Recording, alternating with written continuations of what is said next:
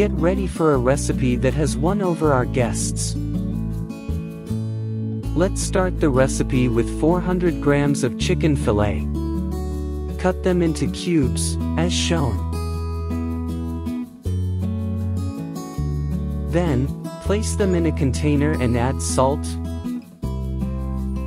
black pepper, and paprika to taste. Mix well so that the seasonings incorporate. Add 2 tablespoons of wheat flour and mix again.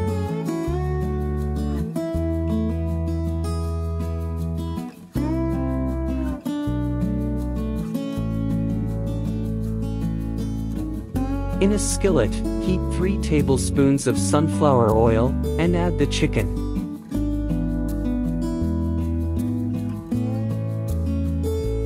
Let it fry, stirring as needed. Once they're golden, set aside. Now, in the pot with boiling water, add a pinch of salt and 300 grams of pasta.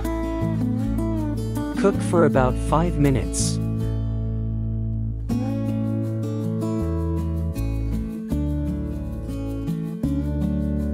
In another pot, heat 2 tablespoons of sunflower oil. Add a chopped red onion and 2 minced garlic cloves. Wait until they brown.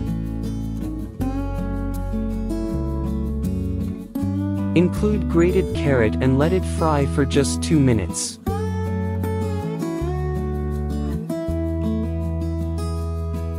Season to taste with salt, black pepper, and paprika. Add 300 milliliters of tomato sauce and mix.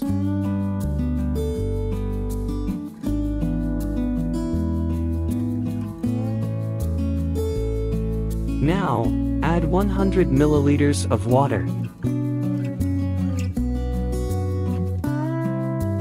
Cook for 3 minutes and then add the chicken.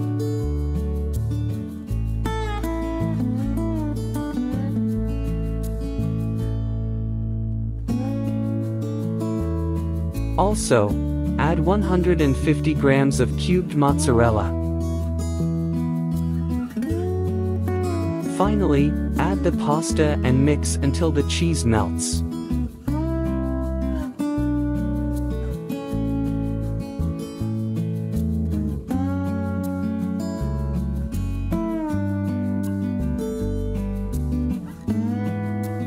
Our chicken pasta is ready, give it a try, Everyone will love it. Before we say goodbye, remember to subscribe to our channel and give this video a like if you enjoyed the recipe. And if you want to see more delicious recipes like this, feel free, on our channel, you'll find a variety of recipes. Thank you for watching, and see you next time.